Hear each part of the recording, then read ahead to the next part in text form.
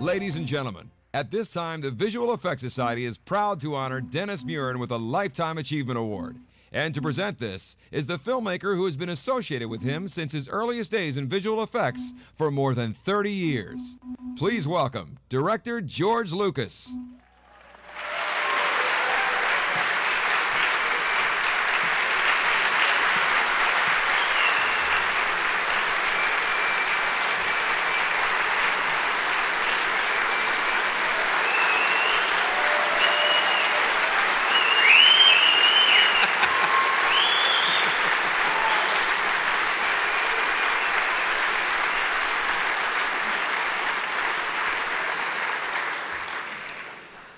Well, it's always a great pleasure to be here. Um, I love uh, to watch this organization grow. Um, it's always amazing to me. I mean, those of us sitting around the table, the old ones like Dennis and I, um, and a few others that work at ILM you know, in the 30 years we've been here where this thing started, where there really was no special effects industry. I mean, there was no visual effects industry. It was a special effects industry, and it sort of included a whole bunch of people, but there just was no industry. And now to watch all these people and all these great movies and television shows and everything that's ma magnificent effects, it's just stunning and wonderful and exciting to be here. And, and um, I'm always especially impressed with the fact that there's a few people who are my age that have still managed to stay alive in this business and still be able to come up here and be coherent. so there's hope for those of you who think you're never going to make it. I mean, through life with your brain intact.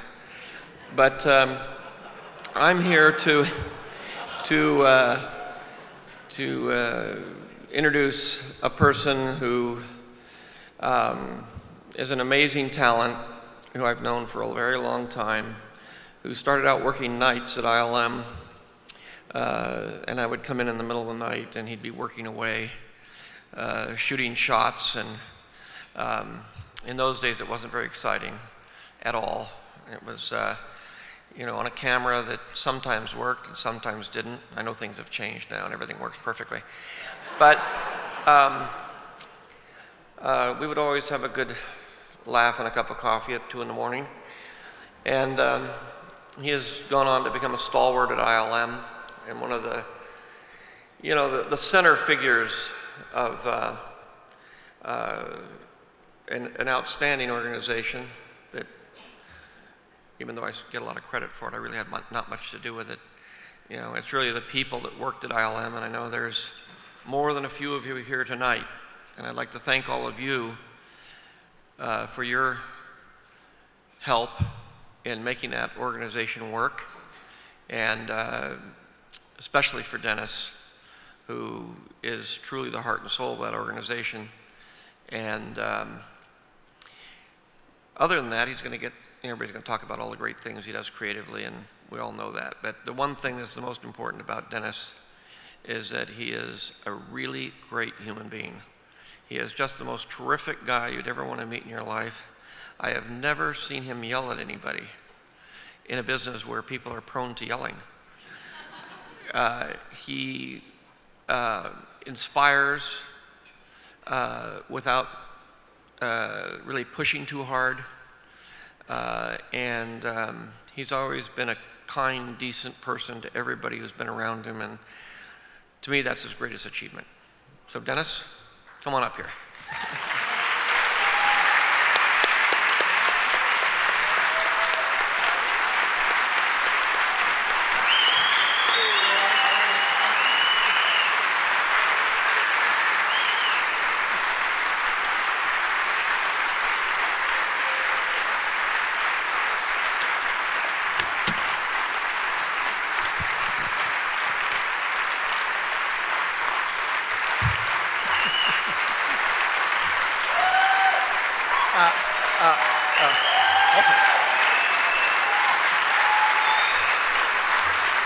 Thank you, thank you, thank you all very much.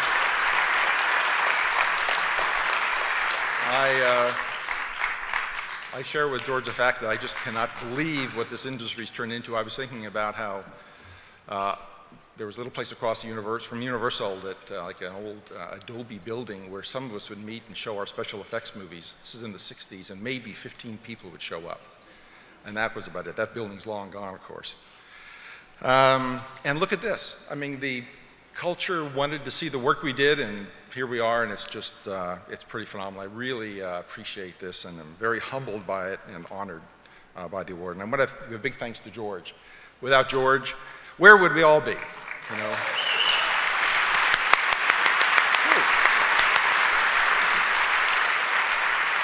And a special thought, uh, special thanks to my family, cousins, and my wife Zara's here, and my kids at home are so important. Uh, and uh, to the supervisors I've worked with in the past and working with in the present, I can't say all you are all around here. You guys are great, and we make a great team. And ILM in general, what an organization. Uh, I've been there for 32 years, plan to be there for 32 more years. And um, the workmates, so many of them I've had around here that are here tonight and elsewhere that have gone on to start other companies, work at other companies, it's just, uh, I feel really honored and a little bit of me is gone with you there. And I'm just so glad we've all been able to uh, enjoy doing what we love to do. Um, now, I don't know why, I, am going to talk for a little bit here, not too long, maybe three or four minutes. Uh, one of the things I can remember when I was really young um, was going up to Yosemite. And at Yosemite, we'd stay at Camp Curry in the summertime. And at night, at 9 o'clock at night, everybody would sort of gather around. And they would be looking at, uh, at, I think it's called Glacier Point up there. And you'd hear a voice on top of Glacier Point say, Camp Curry, hello, Camp Curry. And then someone, a ranger down below, that's 3,000 feet up, ranger down below would say, let the fire fall. And at nighttime, here we are, falling 3,000 feet is this fire falling down. And what it was was, was uh, it was bark from, I think, red fir trees a, a ranger would knock down over the side.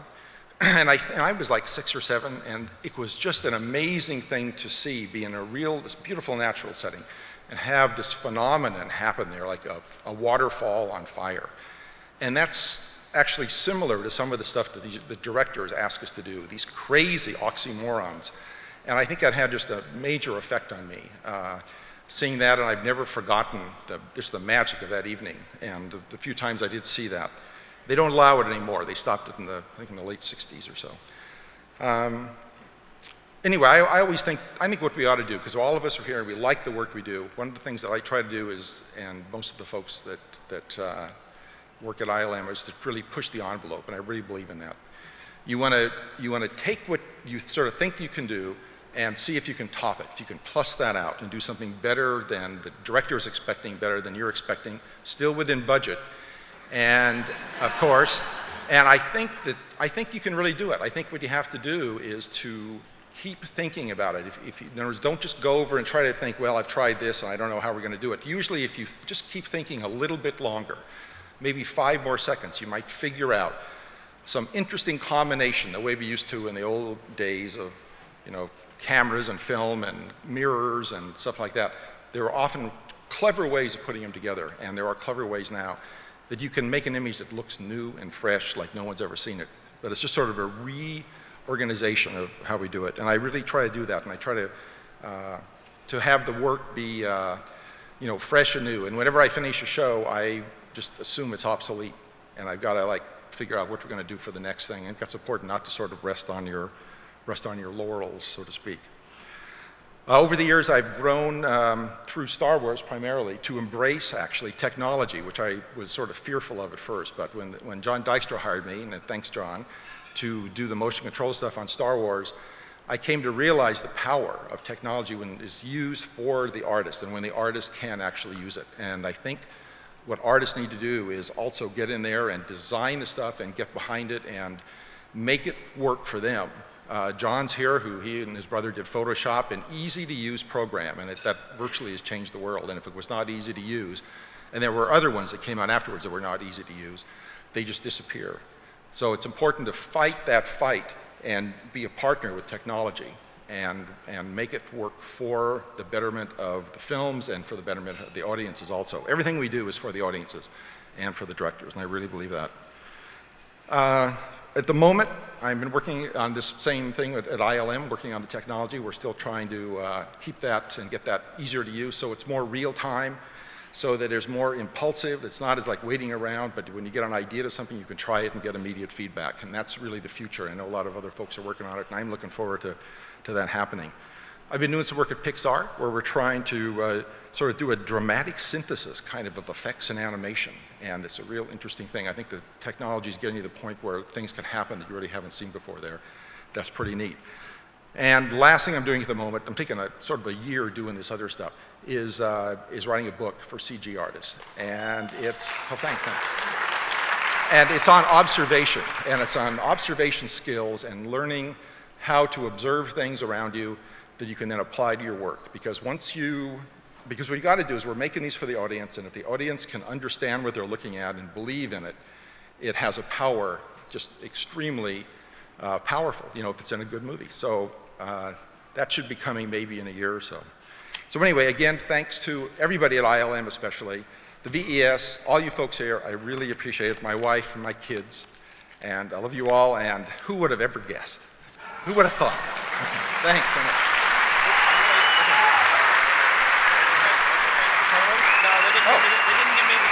Oh, c'est bon, ok. Okay, okay.